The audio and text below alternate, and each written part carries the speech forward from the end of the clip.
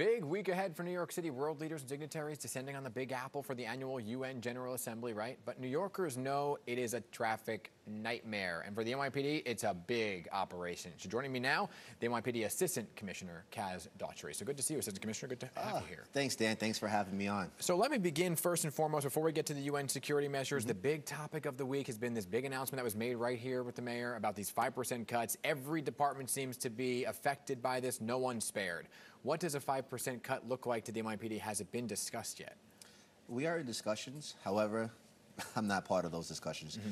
Those those questions should be directed at our, our police commissioner and our deputy commissioner of management and budget. Okay, So, but all things are being looked at and talked all things about. are being looked at. But listen, New Yorkers should feel safe that, you know, uh, I'm sorry. New Yorkers should know that this is not going to jeopardize any safety here. We are we are fine. Good. Laser Yeah. focus on that. Yep. And speaking of safety, let's go talk. And by the way, I will invite the police commissioner on to talk about that. But Yep. let me f- say laser focus right now on what you guys are looking at, and that's the UN General Assembly. So many world leaders. How many is it? We have about over 100, and- about 46, 100, 146 world leaders Yeah. coming here to New York City. Obviously, it's a big time operation for the NYPD, yes. and you guys are well prepared for this as you are every single year.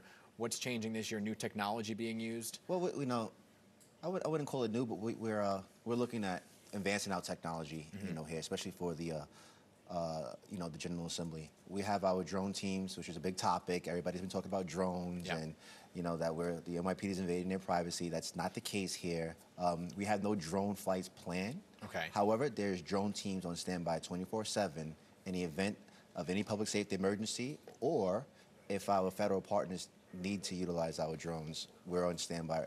They're ready for rapid deployment. So, because of the city being in gridlock, those drones could get somewhere quicker. 100%. And as you see, Dan, outside on Second Avenue, it, traffic isn't moving. Mm-hmm. Yeah. Imagine a police car trying to get down Second Avenue right now as we speak, as opposed to sending a drone over Right. ahead to go see what's going on to get a bird's eye view Yeah. for, for our law enforcement officers as well as our federal partners here. Right. So overall, looking at the gridlock in New York City, what can people expect when it, when it, when they're looking at UN week? you know, well, listen, we, we are encouraging New Yorkers to take mass transit. Mm-hmm. Transit is safe.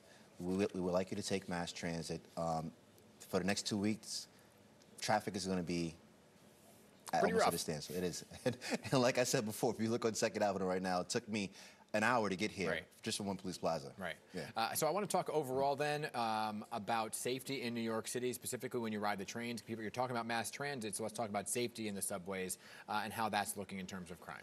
Yeah, so you know, it's funny you, you talk about that. Um, first, first of all, our subway system. If you, you take our subway system, ridership ridership's up.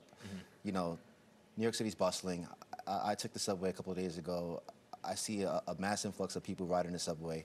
Our transit chief just initiated a new program in transit, which is called the Community Response Team, which they're responsible for going after the quality of life offenses in transit, um, and they're going to continue to keep transit crime down. Um, and they're going after fare evasion, which I was just made aware of a couple of days ago, that they made a, a, a fare evasion arrest, got an individual with a loaded gun who was on parole. Okay. So, you know, they're going after these minor level Yeah. offenses, which is leading to big things. Right, and so that's what's happening underground. Above ground, though, a different story with grand larcenies and, and um, grand theft. Lar- uh, sorry. Grand theft autos. grand theft auto. Thank you.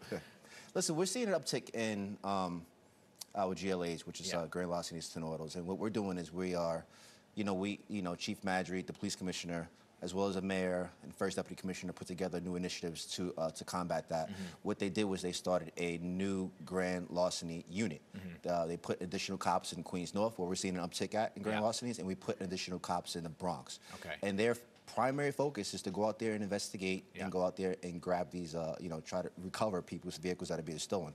Also, which is a very important part, is our educational campaign. Yeah. We want to educate the public on how to keep your vehicle safe. Mm-hmm. So you're going to be getting literature from us, from the NYPD, you know, um, with our mayor and our police commissioner on it, and it's going to give you some safety tips Okay. to how to keep your vehicle safe, along with a QR code. All right, very good. Yeah. I want to talk about you too, assistant commissioner. This is the first position of its kind. What exactly does it mean? You know, I like to look at it as almost as an ambassador, internally and externally, to you know, uh, to, to, to members of the uh, you know our executive staff as well as to our our cops that, that are on the ground. You know, my job basically is to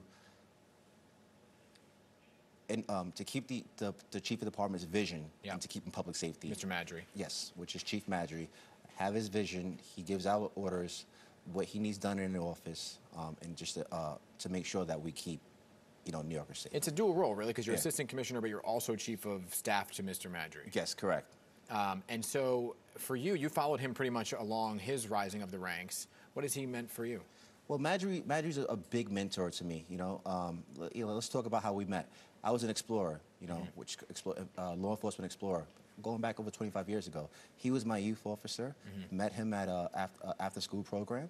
Um, he encouraged me to take the police test. Encouraged me to join the Explorer program.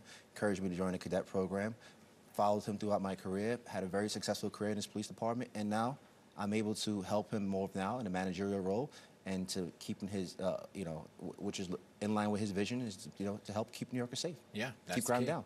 Keep Yeah. crime down. Keep New Yorkers safe. That's right. Uh, Assistant Commissioner Kaz Daughtry, good to have you here. You're welcome back anytime. Okay. Thank you so much, Dan.